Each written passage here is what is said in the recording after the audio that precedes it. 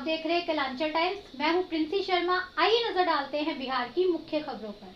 महान संत रविदास जी के जीवन से प्रेरणा लेकर बनाई गई हिंदी फ़िल्म अमर कहानी रविदास जी का म्यूज़िक लॉन्च आज पटना स्थित होटल पाटलिपुत्र एग्जॉटिक में किया गया। इस दौरान फ़िल्म के निर्माता परमानंद पोपली, टीवी कलाकार संदीप मोहन, प्रसिद्ध फ़िल्म अभिनेता Hemant Pandey, Crime Patrol fame Gulshan Pandey, अभिनेत्री मिन्नत फातिमा मौजूद रहीं।